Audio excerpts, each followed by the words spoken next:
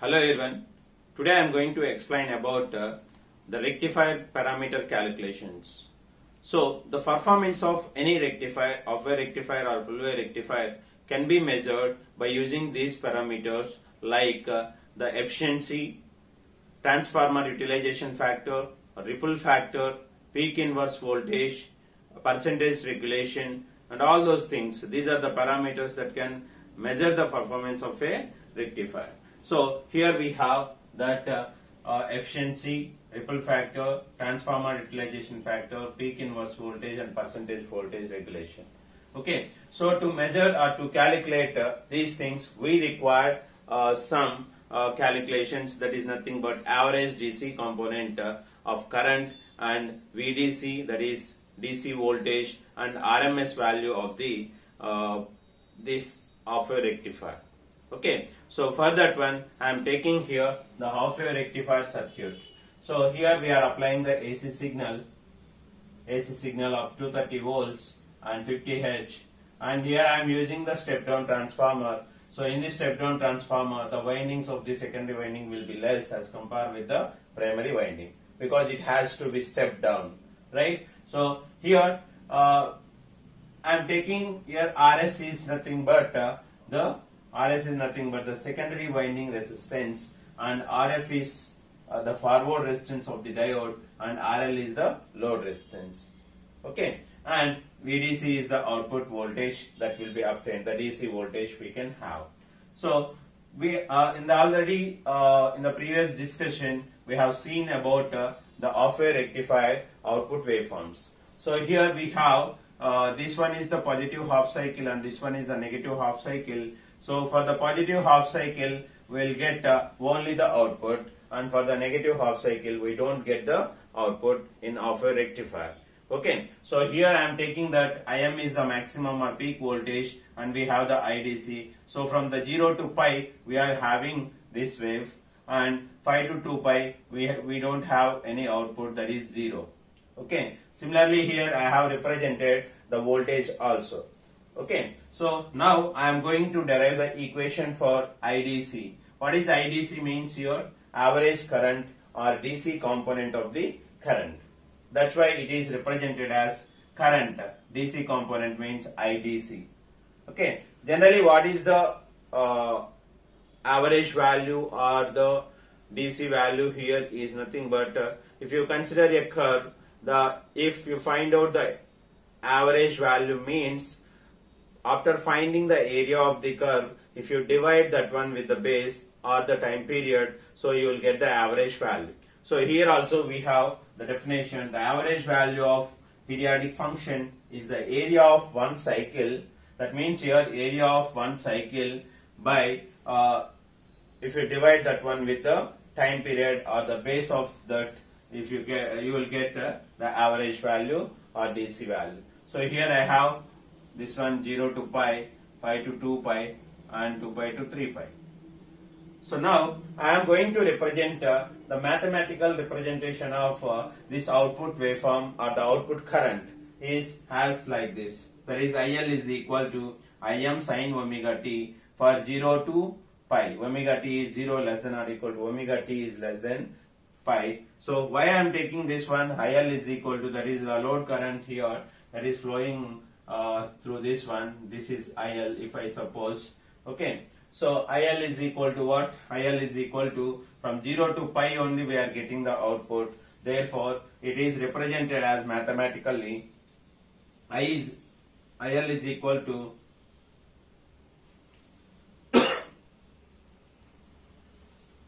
IL is equal to Im sine omega t for 0 to pi.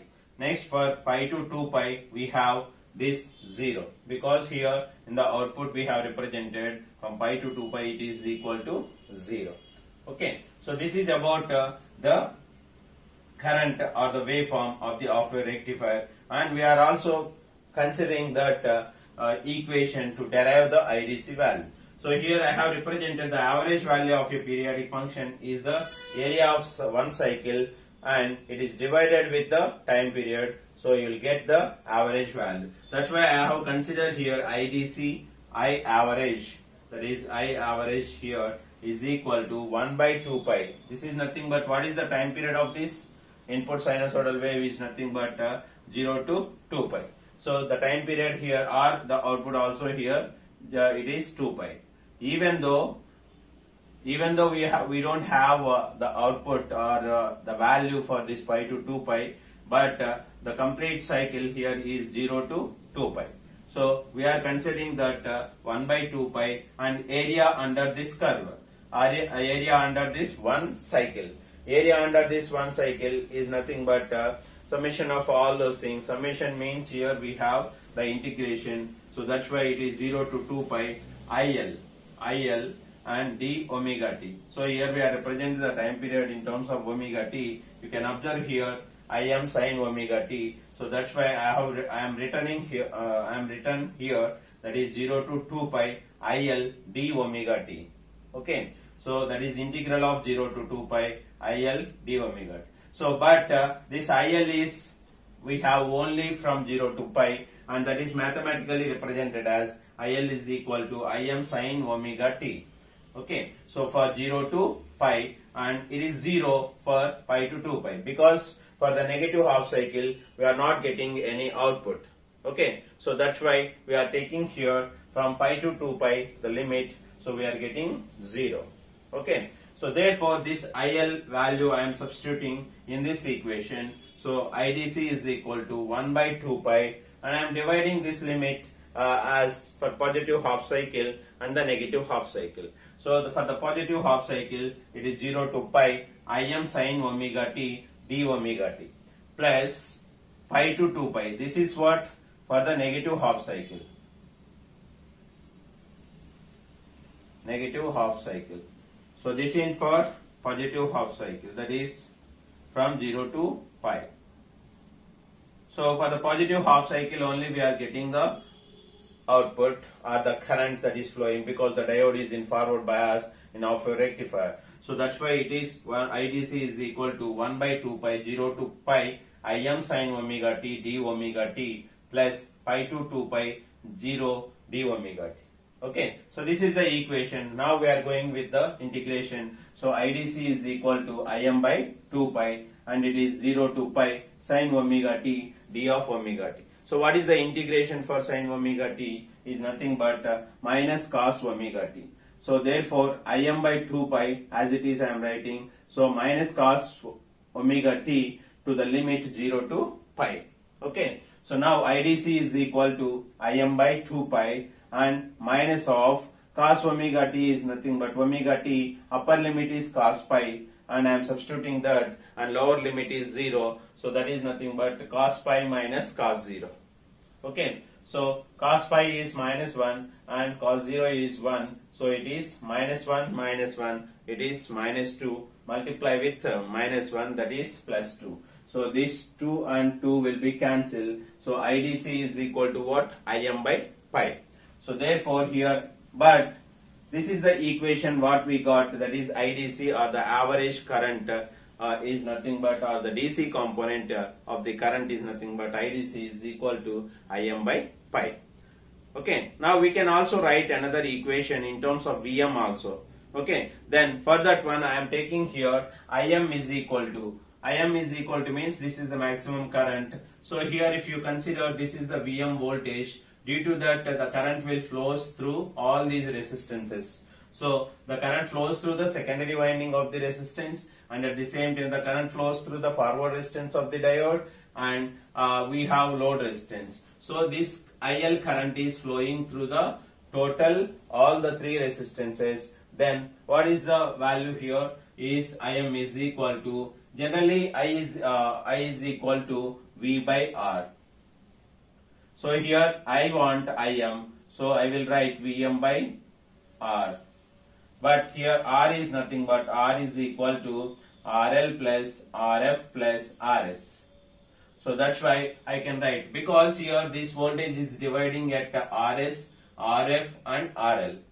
Okay. So that's why I am taking here Im is equal to Vm by R that is Vm by RL plus RF plus RS. So therefore here Im is equal to Vm by RL plus RF plus RS. So here Vm is the peak voltage and RF is the forward bias resistance and RS is the secondary winding resistance and RL is the load resistance we have. So therefore IDC is equal to, I, I can substitute this IM value here. So what happened here? IDC is equal to VM by RF plus RS plus RL. Okay. And we have the pi here. Therefore IDC is equal to VM by pi RF plus RS plus RL. So we can write here if we consider RF is equal to 0 and if uh, and uh, the secondary winding resistance is also uh, 0 or we cannot consider. That means what happened to this? If you can you can neglect RF plus RS from the above equation. So what you will get here? IDC is equal to VM by pi RL okay. So therefore the average DC current equation in terms of the peak current is nothing but IDC is equal to IM by pi and the VDC uh, that is in terms of uh, IDC in terms of uh, peak voltage is nothing but uh, IDC is equal to Vm by pi RL. So finally here we have IDC value as Im by pi and uh, the same value in terms of uh, peak voltage IDC is equal to Vm by pi RL. Okay. So this is about IDC or the average DC component value. Now we have here average DC voltage or DC component of the voltage calculation and it can be represented with VDC. Okay, so V is represents the voltage and DC will represents the DC component. So here we can have the equation that is VDC is equal to IDC into RL. So that is nothing but uh, IDC means that is flowing like this here IL is flowing and out of that uh, IL into RL that is equal to VDC you will get. In that IL I already told that uh, uh, that is IL consists of both AC and DC component. So that's why here I am represent I am taking only IDC from that. So that therefore we have V is equal to IR formula. So we, require VDC and that is equal to IDC, DC component. We require VDC value, so IDC multiply with uh, what is the resistance here is RL. Okay, so the drop uh, across this RL is nothing but the VDC we will consider. So here then I know that uh, here IDC is equal to I got here Im by pi. IDC is equal to Im by pi. So I am substituting that one. Therefore VDC is equal to Im by pi into RL. Therefore, Im is equal to, we have Vm by RL plus RF plus RS. So that is, I am substituting here Vm by RL plus RS plus RF multiply with uh, RL. Okay. So here I am neglecting the terms that is uh, what we have RF plus RS is very very lesser value. So if I neglect that one, so what we will get here that is uh, uh VDC is equal to Vm by pi into RL multiply with RL. So here we have the equation that VDC is equal to Vm by pi into RL after neglecting that uh, so here RL we have so RL RL will cancel and the VDC value is we have is VDC is equal to Vm by pi. So this is the calculation of uh, VDC from the IDC value after calculating the IDC value. Okay, but here also we can also calculate like uh, similar to the VDC value what we have calculated uh, here is by considering like this. So here I can write uh, the output voltage as so V out is equal to that is Vm sine omega t for 0 to pi and uh, it is 0 for pi to 2 pi. Okay. So therefore we can calculate VDC as VDC is equal to 1 by 2 pi 0 to 2 pi V out or VL and d omega t. Right. So therefore here also we can substitute uh, in place of uh, this V out Vm sine omega t. So that is 1 by 2 pi so it is limit is 0 to pi that is Vm sine omega t d omega t and it is 0 for pi to 2 pi. So therefore here we will get uh, 1 by 2 pi and 0 to pi Vm sin omega t. So it is I am taking 2 here that is Vm sin omega t. So Vm is a constant so I am taking Vm to here. So that is Vm by 2 pi and what is the integration of sin omega t is nothing but minus of cos omega t and here we have the limit is 0 to pi so I am applying that 0 to pi here. So what you will get here so that is Vm by 2 pi and minus of uh, minus 1 because cos omega t uh, is nothing but cos pi minus cos 0. So what you will get here? So that is nothing but uh, here I am taking this one. So it is Vm by 2 pi and it is minus of minus 1 minus 1. So that is equal to Vm by 2 pi and it is 2. Okay. So here we can cancel 2 and 2 so that VDC is equal to Vm by pi. Like this also we can calculate or we can uh, measure this uh, VDC value. So here we have two types of calculations for VDC. First we will find out the IDC and after that by using the formula uh, that is VDC is equal to IDC into RL and after substitution we will get uh, this VDC is equal to like this Vm by pi into RL plus RS plus RF into RL. So if we neglect these things you will get uh, RL. Uh, RL here and therefore VDC is equal to Vm by pi RL RL cancel. So therefore you will get uh, VDC is equal to Vm by pi. Right. And another way of calculation is also there for the VDC. So that is nothing but uh, by taking here V out is equal to that means uh, Vm sin omega t. Similarly what we consider IL is equal to Im sin omega t and here also I will calculate V out is equal to Vm sin omega t because we are getting the output for this 0 to pi. So that's why here we are taking this one into consideration as Vm sin omega t 0 to pi. So next uh, the average value formula is same for all the things there the current or uh, voltage. So therefore VDC is equal to 1 by 2 pi limit that is uh, 0 to 2 pi uh, V out d omega t. So integral of 0 to 2 pi. So here in place of V out for 0 to pi I am substituting this one and uh, this integration is nothing but uh, cos omega t. So minus of cos omega t that is limits 0 to pi. Cos omega t uh, is pi upper limit if I substitute minus of cos omega t is minus cos pi and minus of cos 0. So minus cos pi is nothing but minus, uh, minus 1. So here we'll get cos pi is minus 1 and cos 0 is 1. So it is, you'll get minus 1 minus 1 and it is minus 2. So here we have minus of minus that is plus 2. So if 2 and 2 will be cancelled, so we will get VDC is equal to Vm by pi. So this is the two types of calculations of VDC we have and the IDC is nothing but Im by pi for half-wave rectifier and VDC is nothing but Vm by pi for the half-wave rectifier. Okay. Thank you. Thank you for watching. Subscribe our channel.